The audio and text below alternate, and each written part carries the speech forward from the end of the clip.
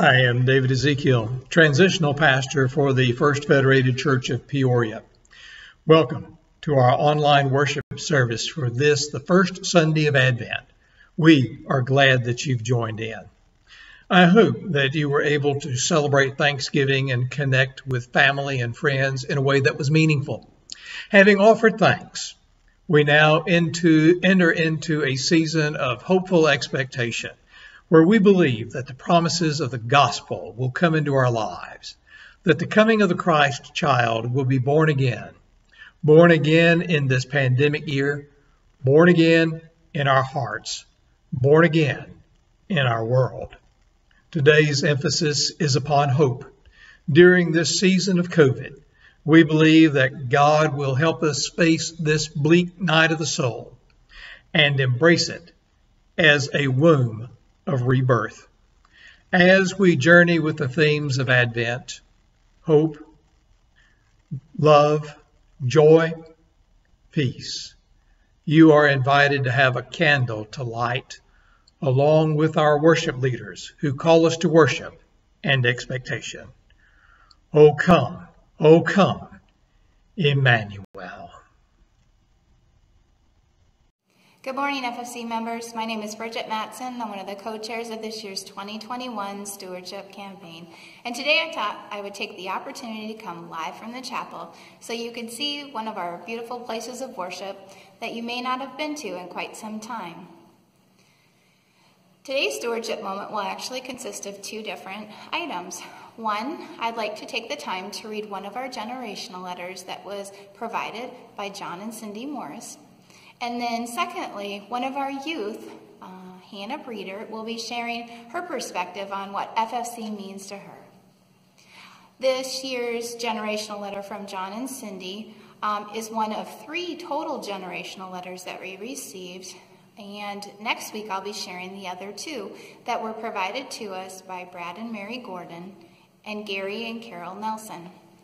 Each year we ask members of the community, uh, our FFC, to share their perspective and write a generational letter so that you can hear from them their perspective on what FFC means to them and how the stewardship campaign can be impacted by your giving through their eyes. So here is John and Cindy Morris's letter. Dear fellow First Federated church members, Thank you for joining us in support of First Federated, beloved by all of us. We are asked to share some reflections on giving in the 2021 Stewardship Campaign.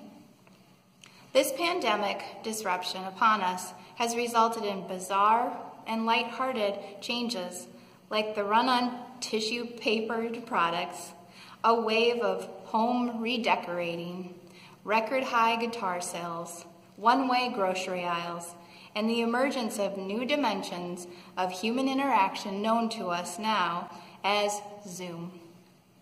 Then there are more serious consequences, like the stressful uncertainty of childcare and schooling, a new culture of fear, the loss of employment, increasing depression and isolation, the inability to visit loved ones, coping with illness, and even death due to the virus. Beyond the dark clouds of the past seven months, perhaps you too have experienced the unexpected silver linings.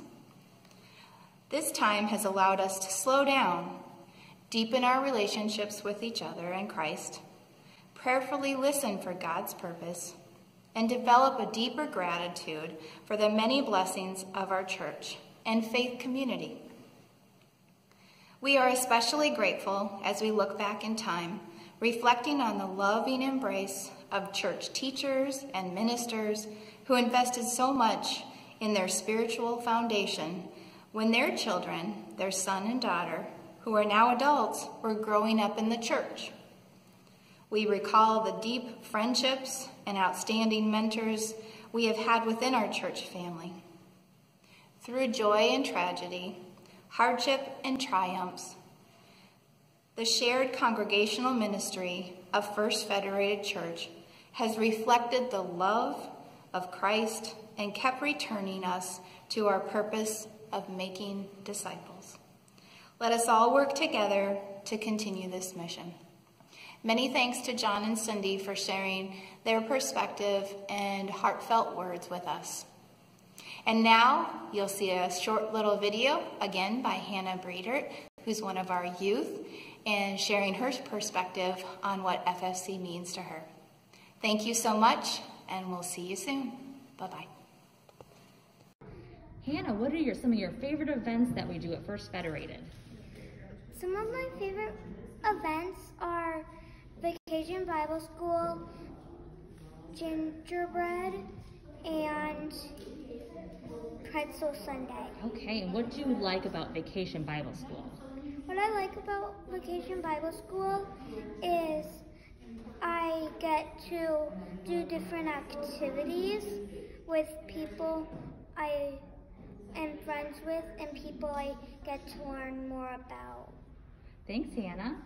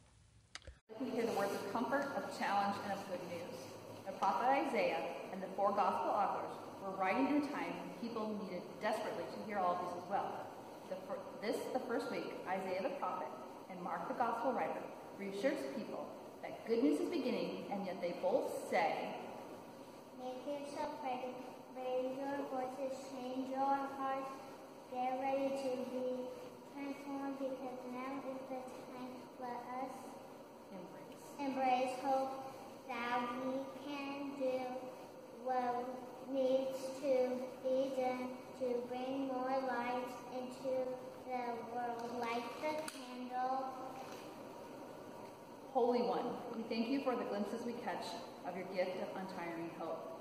Even in the midst of fear, of challenge, of struggle, even when our view is obstructed by clouds of doubt, ignite the flame of hope within us, that we might glow with its brilliance from the inside out.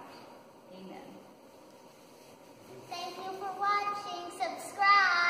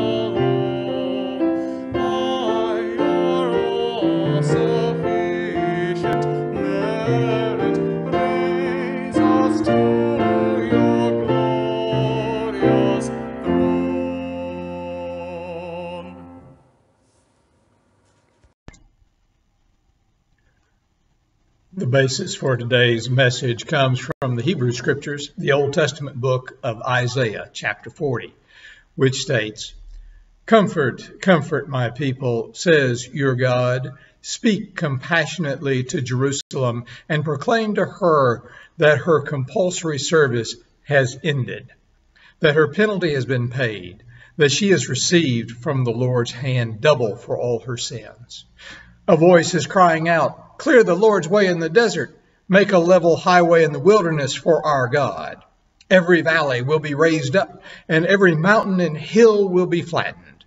Uneven ground will become level, and rough terrain a valley plain. The Lord's glory will appear, and all humanity will see it together. The Lord's mouth has commanded it. A voice was saying, Call out. And another said, What should I call out? And call out that all flesh is grass, all its loyalties like the flowers of the field. The grass dries up, and the flower withers when the Lord's breath blows on it. Surely the people are grass. The grass dries up, the flower withers, but our God's word will exist forever.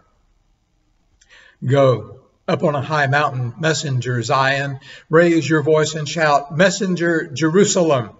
Ra- raise it. Don't be afraid. Say to the cities of Judah, Here is your God. Here is the Lord God, coming with strength, with a triumphant arm, bringing his reward with him and his payment before him. Like a shepherd, God will tend the flock. He will gather lambs in his arms and lift them onto his lap, and he will gently guide the nursing ewes. Let us pray.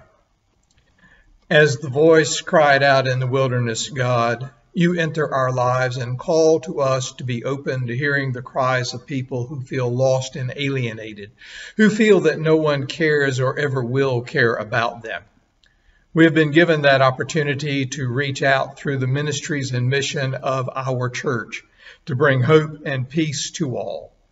Get us ready to become pathways of peace and life transforming love in your name. Amen. Amen. This is the first in a series of messages on I Believe and incorporating the themes of Advent hope, love, joy, peace. And today's message is I Believe in the Son, hope for tomorrow. A core component of our Advent services interweaves an inscription found on the dark wall of a cellar in the city of Cologne, Germany after World War II.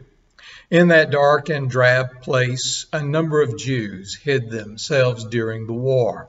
So many of their family and friends had been murdered, and they feared that the next set of footsteps they heard would be coming for them.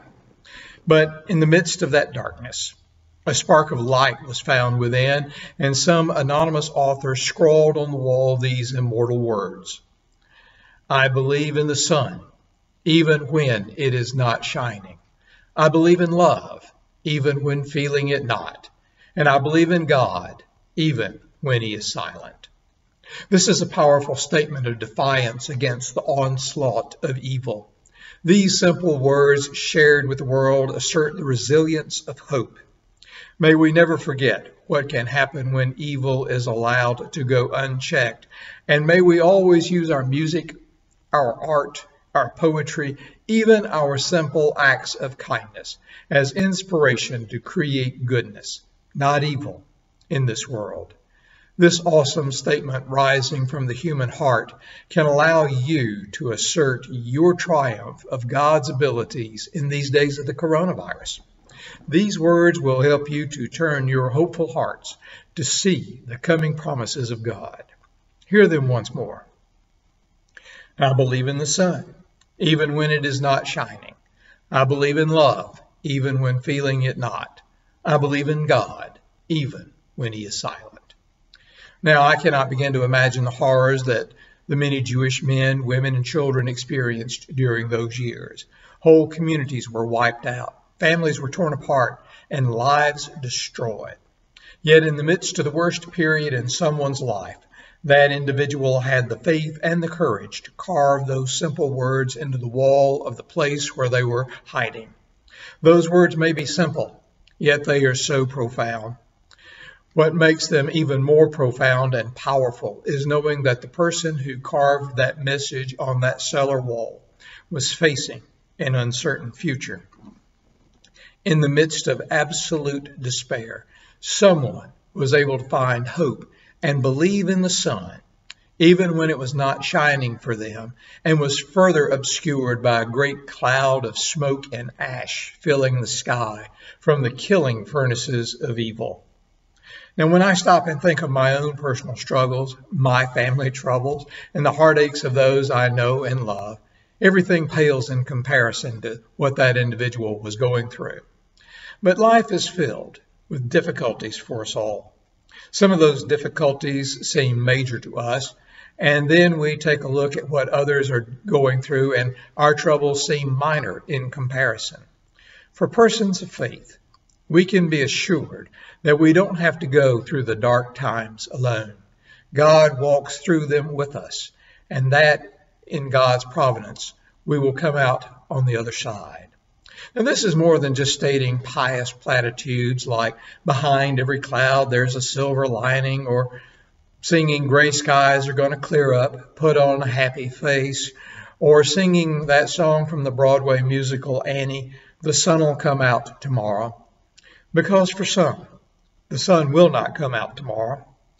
What does the world look like from the perspective of a man who has been unemployed for 18 months and Christmas is just around the corner? What does it look like through the eyes of families whose homes were destroyed by the recent spate of fires in California and Colorado as winter knocks on our doorstep?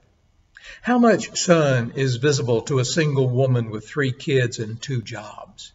And can a child who's being abused by a trusted adult really saying, the sun will come out tomorrow? Advent reminds us that we are preparing ourselves to be transformed by God's love and that through us, God will transform the world. The birth, life, death, and resurrection of Jesus Christ is one of the series of events in history that we can testify to that can bring hope from the worst despair. This Advent season is our chance to recognize all the possibilities God offers all to us. It gives us the chance to glorify God when we lift up those who find themselves unable to see the sun shining on them. Though sometimes for me, despair seems to come more easily than the ray of hope, because I press the arc of justice towards greater love and freedom. But I feel like others press against me, bending the arc the opposite way. I believe civil rights are being lost. Voting rights are being challenged. Mass shootings are occurring all too frequently. Nuclear war threatens. Climate change seems unstoppable. Ethnic purity closes borders. Religious animosity rages. And many try to isolate from an ever shrinking and connected world. That is why, even when I feel the sun is not shining, that love is in short supply, and that God or goodness are absent, that's why I need Advent. I need to remember we've been through this before. I need to remember that when freedom is crushed, resistance rises. But without hope, without the ability and will to imagine a different way of being, and without acting to make our hopes real, despair and darkness will prevail. So, when you feel that you are in a dark place, when you feel that comfort, understanding, and hope are far away, remember that the Bible reminds us to lift up our voices in lament as a means to believe in real hope and the chance for redemption and rebirth. It is the soul's affirmation that God has heard and that God will answer. The people of Isaiah's time were lifting up voices of lament because they had been under the diabolical double yoke of despair and depression. But even in their distress, they trusted that God was out there and that God heard their cries for help. They speak out from their distress, placing their hope in the belief that even hidden, God is still present and close.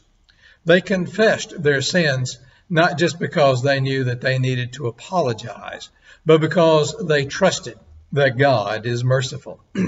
they cried out that life is hard, but they still believed in God's power to shape things and finding comfort that if God doesn't shape their circumstances, surely God can shape their hearts. And God did both come and shape their hearts. Isaiah referred to himself as the voice of one crying in the wilderness, Prepare a way for the coming of our Lord. And John the Baptist, centuries later, described himself in exactly that same way when he promised that Jesus was coming to people who felt hopeless and helpless on their journey. That's what our faith is about. When we feel like we're at the end of life's road, God sends someone to walk the road with us and to reveal new pathways towards life that we didn't even know were there. God sends us the strength to survive. Our faith says that whatever we face in a given moment is, in fact, momentary, but that God is permanent. And furthermore, God is more powerful than whatever we face or fear. God comes to us on our own desert highways so that wherever we travel and whatever we experience on that road, we are never alone. Our faith teaches that God's love is incarnational and that you and I are divinely called not merely to receive it when we need it, but also to extend it when others need it too. That's what discipleship is all about. As the popular phrase puts it, we are blessed to be a blessing. As another minister frequently says, God's love always comes to us on its way to somebody else. Comfort, comfort, my people, says your God. In the midst of our pain, God comes to us with comfort, usually through the people God sends to our doorsteps. In the midst of our neighbor's pains, God longs to arrive at their doorstep through us. Advent invites us to wait and trust that the God who has acted on humanity's behalf over and over again will continue to do so. And Advent invites us to participate in God's creative redemption of the world. You too can be the voice of one bringing hope and comfort to someone who desperately needs it. Advent invites us to participate in bringing hope to the world because remember, God's Spirit is in each of you. There are a lot of major things that you can do. And there are a lot of great causes out there that need your participation. And God beckons for you to get involved. And you should act and get involved. But today, just for today, do some easy things like practicing moments of forgiveness. Simple, kind acts, offering words of encouragement, giving a smile, a hug, or simply listening to someone who just needs to, halt, to talk and to hear someone listen to them. For you can be one of those who prepare the way for the Lord by not hurting others, by being kind, by helping, by loving, by forgiving. Are you ready to be the ones who will help prepare the way of the Lord? And if you yourself are looking for good news, be that good news to someone else.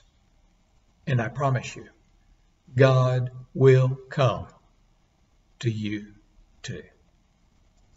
Amen and amen.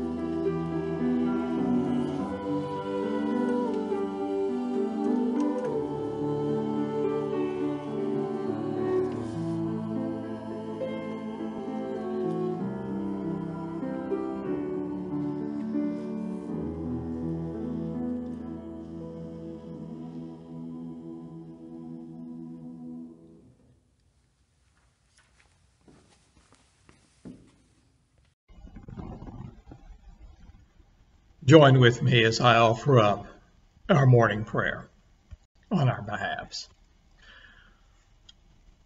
On this day, O Lord, we come with thankfulness for life and for breath, thankful for the brilliant hues of the winter skies, for the bracing pinch of cold wind on our cheeks, for the lacy frost decorating our windows, for the comfort of coffee and tea and hot chocolate, for the taste of cinnamon and gingerbread. Open our eyes to the beauty that is all around us, and thank you for yet another season of Advent, where we light a candle of hope, which we need so much in these dark times. A candle of hope for those we know who are grieving, for those we know who are sick. A candle of hope for people whose marriages have broken down. Hope for the unemployed who wonder how they'll pay their bills. Hope for families camped at borders waiting for gates to open. Hope for Syria and Eritrea and in Uganda where war makers and bloodshed rule. Hope for our dear planet so trampled by our collective human footprints. We confess that we are prone to despair, that hollow feeling that life is too precious to bear, and that there is nothing we can do about it. We often, O oh God, think that hope is impossible. But we thank you that you are an impossible hope specialist for you send special delivery news of a Savior whose birth changes us all. Jesus, keep hope alive in our hearts every day this week. Hope that it's worthwhile being kind to strangers.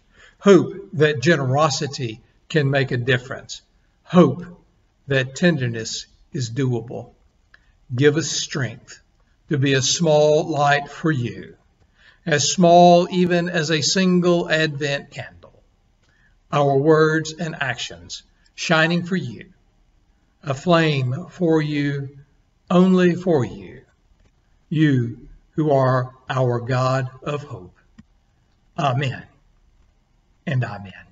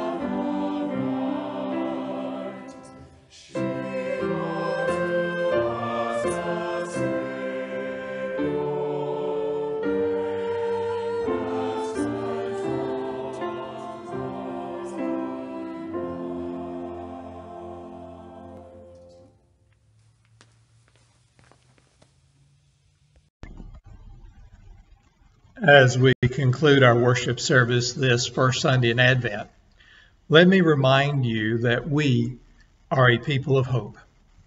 Now, hope is not wishing for something to happen. Hope is believing that when you take action, that the Almighty will cause a spark and that something marvelous will transpire. Therefore, in this week, as we wait for justice, we do not wait to work for change. We wait for restored health, but we do not wait to work to heal. We wait for wholeness, but we do not wait to work at binding brokenness. We wait for peace, but we do not wait to work to eliminate hatred. And so, my friends, like bells ringing out the news that the sun still shines even on cloudy days, fill the night left by sadness with messages of hope.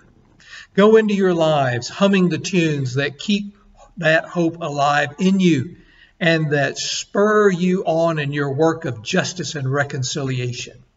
Go, bringing hope and peace into the darkened world, for God is bringing light into our darkness through the light that is within you. For God is calling you to go out into the world, confident in God's loving presence to serve others in need. Therefore, go in God's love. Amen and amen. And I'll see you again next week.